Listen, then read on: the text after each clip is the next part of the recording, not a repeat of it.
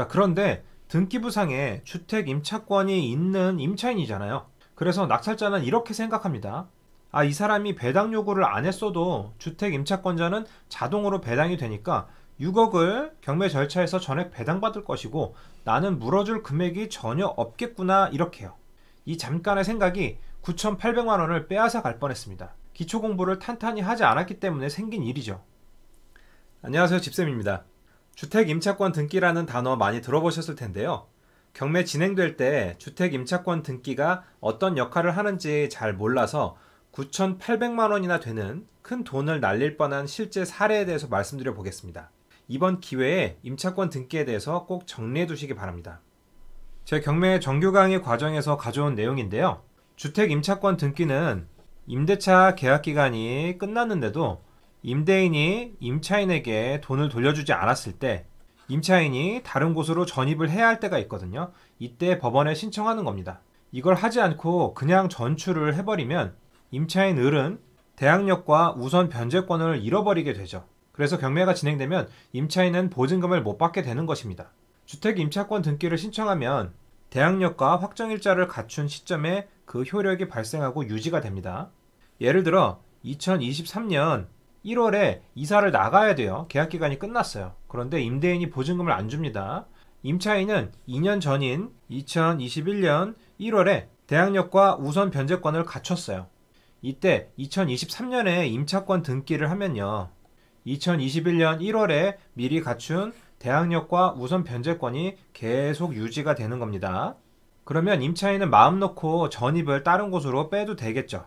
다만 등기부에 임차권 등기가 된 시점에 그 효력이 발생되니까 등기부에 자기 이름이 올라간 것을 꼭 확인하고 임차인은 이사를 가셔야겠습니다. 등기부에 올라간 임차권 등기는 이런 식으로 나타납니다. 자, 등기 목적에 주택 임차권 써 있고요. 등기 원인은 2022년 3월 7일이고 등기부에 접수된 날짜는 2022년 4월 8일입니다.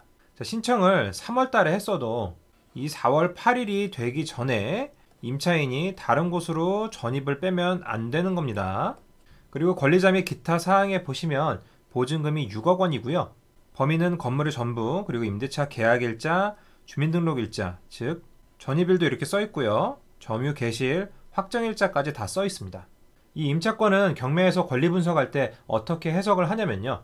근저당권이나 담보 가등기처럼 2022년 4월 8일 접수일을 기준으로 해석하시는 게 절대 아닙니다. 자, 이 부분을 보셔야 하고요. 우선 대항 요건의 효력 발생이라는 것이 있는데 그것은 이 전입과 점유의 늦은 날 기준으로 다음 날 00시에 생기게 돼요. 자, 그렇다면 둘 중에 늦은 날이 2020년 2월 10일이죠.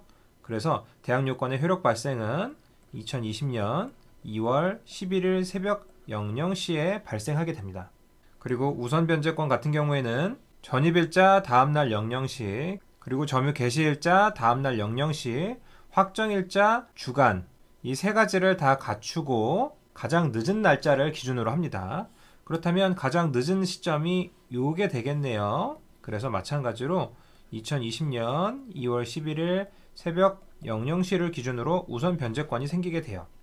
그리고 대항력이 있는지는 이 대항력권의 기준이 말소 기준 권리보다 앞에 있어야 하는 겁니다. 이건 뒤에서 같이 살펴보도록 할게요. 대항요건과 우선 변제권에 대한 연습은 정규 강의를 들으신 분들은 충분히 연습하셨으니까 어렵지 않게 찾을 수 있을 것이라 믿고요. 자, 이 물건이 실제로 경매 진행되게 됩니다. 경기도 용인시 수지구에 있는 성복령 롯데캐슬 골드타운 아파트인데요. 신분당선 초역세권 아파트입니다. 2022년 7월 20일이 첫 매각기일이었는데요. 이 아파트는 2019년 신축이에요. 그래서 33평형임에도 감정가가 꽤 높았죠. 14억입니다. 신건일 때는 아무도 안 들어갔고 1회 유찰돼서 9억 8천만 원일 때 바로 이렇게 사고가 터지게 됩니다. 자, 여기서 구독과 좋아요 한 번씩만 부탁드릴게요. 영상 제작에 큰 힘이 됩니다.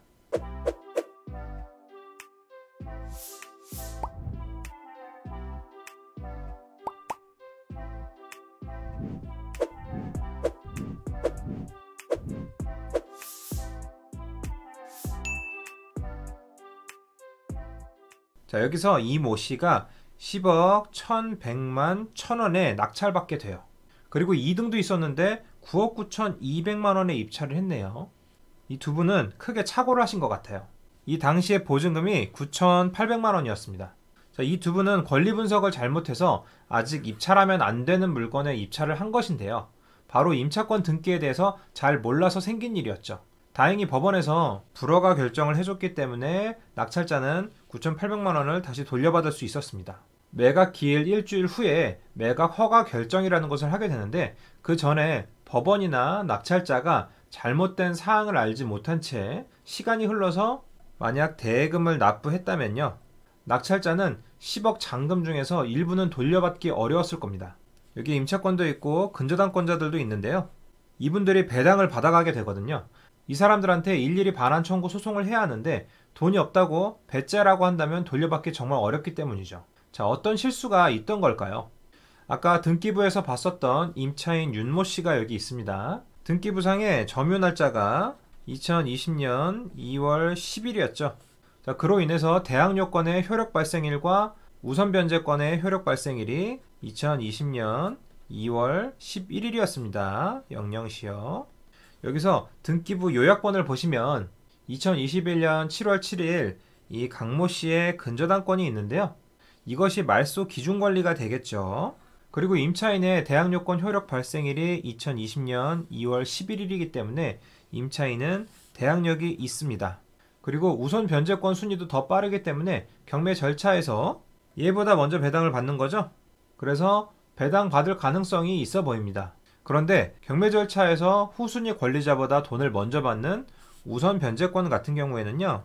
순위만 보고 결정하면 안 됩니다. 배당 요구를 배당 요구 종기일 이전에 해야지만 우선 변제권이 생기는 거죠. 그런데 임차인 현황란에 보시면 여기에 배당 요구란에 없음 이렇게 나와 있는 걸 볼 수가 있어요.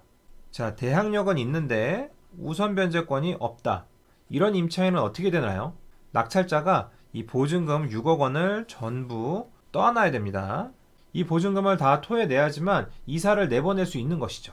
자, 그런데 등기부상에 주택 임차권이 있는 임차인이잖아요. 그래서 낙찰자는 이렇게 생각합니다. 아, 이 사람이 배당 요구를 안 했어도 주택 임차권자는 자동으로 배당이 되니까 6억을 경매 절차에서 전액 배당받을 것이고 나는 물어줄 금액이 전혀 없겠구나 이렇게요. 이 잠깐의 생각이 9,800만 원을 빼앗아 갈 뻔했습니다. 기초 공부를 탄탄히 하지 않았기 때문에 생긴 일이죠. 배당 요구를 하지 않아도 당연히 배당에 참가할 수 있는 자에는 임차권 등기권자가 이렇게 있네요.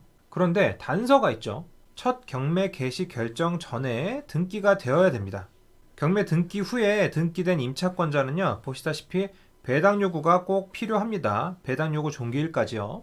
경매 과정에 대해 자세하게 나온 이런 교과서 같은 교재를 갖고 있었고 한 번만 살펴봤다라면요. 낙찰자분은 이런 위험에 빠지지 않았을 겁니다. 등기부를 열람해 보면 임의경매 개시 결정일은 2021년 8월 17일이었고요.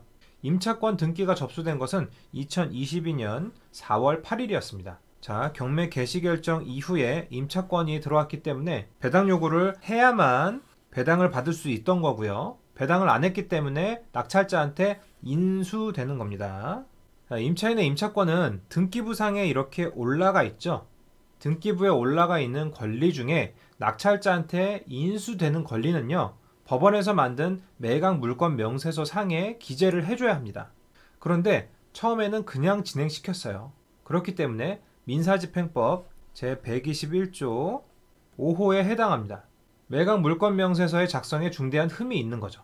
현재의 매각 물권 명세서를 보면요. 이렇게 친절하게 울구 순위번호 4번의 주택 임차권 등기는 말소되지 않고 매수인에게 인수됨 이렇게 적혀 있습니다. 그래서 이걸 본 사람들은요. 6억 원을 인수해야 하는 것을 알고 입찰하지 않고 있습니다. 4번이나 유찰돼서 3억 3,600만 원까지 떨어졌어요. 그런데 애초에 이렇게 설명을 해줬던 게 아닙니다.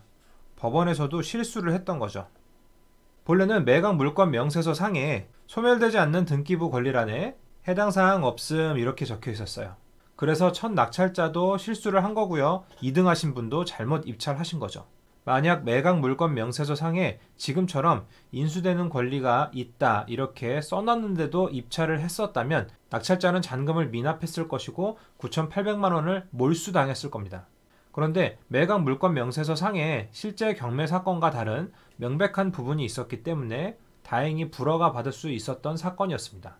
만약 법원도 모르고 낙찰자도 모른 상태에서 잔금 납부까지 하게 된다면 일이 더욱 커지게 되죠. 당연히 돈을 돌려받을 권리는 있어요. 다만 배당을 받아간 채권자들이 은행이나 공공기관이라면 어렵지 않게 돌려받을 수 있지만요. 일반인이라면 모르쇠로 일관할 가능성이 매우 크기 때문이죠. 어쨌든 우리는 이 일을 거울 삼아서 기초에 충실한 상태에서 입찰에 응하셨으면 좋겠습니다.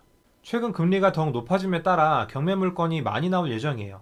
지금처럼 잠시 쉬어가는 하락장이 왔을 때 좋은 물건을 낮은 경쟁률로 저렴하게 잡을 수 있는 타이밍이라고 생각합니다. 경매 공부를 통해서 기회가 왔을 때 꼭 잡아보시기 바랍니다. 일반 매매보다 훨씬 저렴하게 취득할 수 있는 기회가 있어요. 이 기회가 오래 가진 않을 것입니다. 제가 오픈한 온라인 경매 정규 강의에 많은 관심 주셔서 감사하고요. 덕분에 얼리버드 이벤트 2탄을 진행하게 되었습니다. 아래 더보기를 누르시면 자세한 사항을 아실 수 있어요. 오늘 영상이 도움이 되셨다면 좋아요와 구독, 알림 설정 부탁드릴게요. 세 가지 다 클릭하시기 어렵다면 구독만이라도 부탁드리겠습니다. 영상 제작에 큰 힘이 됩니다. 감사합니다. 집샘TV였습니다.